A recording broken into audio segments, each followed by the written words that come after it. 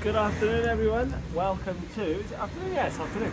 Good afternoon. Welcome to a Wet Wales, um, where I just thought I would really quickly um, just fire up the 85cc um, DCS 6400. So as you can see, I've put a bar on it. This really nice 28-inch Husky light bar. Uh, we've got the plastics on. Did all the little bits that needed doing. Found some bolts for the exhaust. A couple of little bits. I have run it up um, but it's stone cold now. So I thought I would, not sure if I'm in shot, sorry. Um, yeah, it's stone cold, so we'll get a really good cold start now. I'm not wearing the best chainsawing gear, um, so I'm gonna go very easy, very careful, and just do a couple of cuts for you, just so you can see how she runs. Um, so yeah, without further ado, let's get it started. Lots of compression in this one, so I'm gonna play it safe and just start it on the floor in the official manner.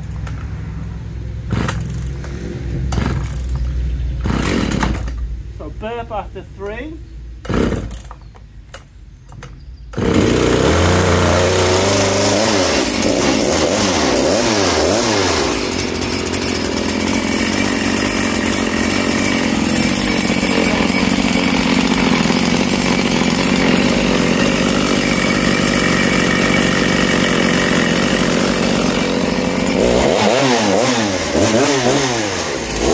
Oh.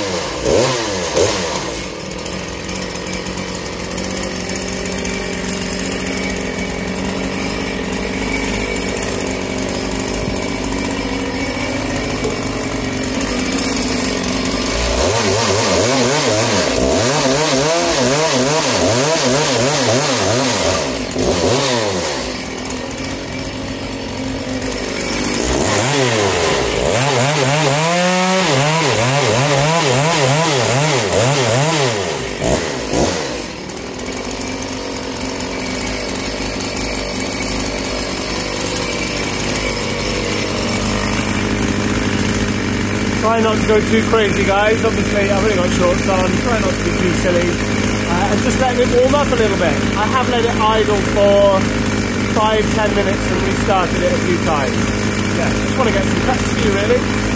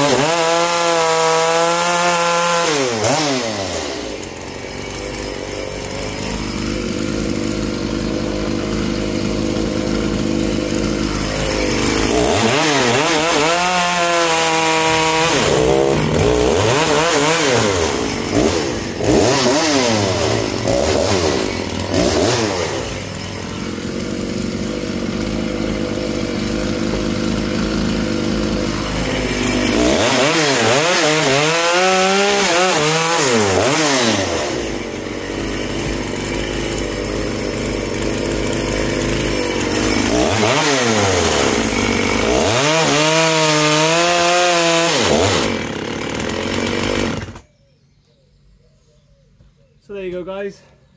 Nothing too crazy. Um, don't scream at me too much for not having um, trousers on. Um, but yeah, that's the first cut with this really. That's a 28 inch Husky light bar.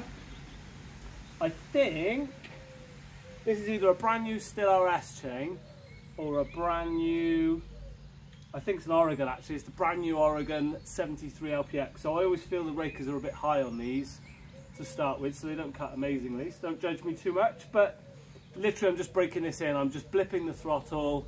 I don't want to hold it wide open, just get some cuts. So just wanted to get some first cuts for you on camera, just to show you she runs.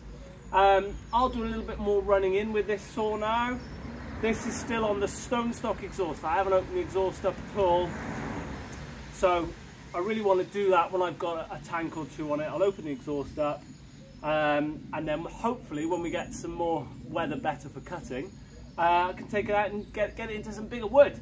Um, but so far, really enjoying the feel of this saw actually. It feels, feels lighter than my 7900, which is weird. Uh, maybe I'll weigh them and compare them. Maybe the exhausts are different or something. Um, yeah, hopefully you enjoyed that. Um, feels really good, feels powerful, feels just initially feels very similar to a 7900, which is what you'd expect really. Um, a lot of people who've done these big bores say, you know, the OE cylinder is very good, um, but obviously this cylinder kit is about 150 pounds, and if you can find one, a 7900 piston and cylinder is about 300 pounds. So half the price, same performance. So pretty happy with that. Uh, yeah, yeah, keep watching. Thanks for watching. Hopefully you enjoyed this. Maybe you've got a blown up 6400 that you're going to convert. Uh, let me know in the comments. Uh, yeah, hopefully some axe content soon as well. Got lots of axe stuff to show you. Um, yeah, thanks for watching. Have a great bank holiday weekend and next bank holiday weekend and the other bank holiday weekend. So lots of holidays coming up. I hope you enjoy them all and get some cutting in. Cheers.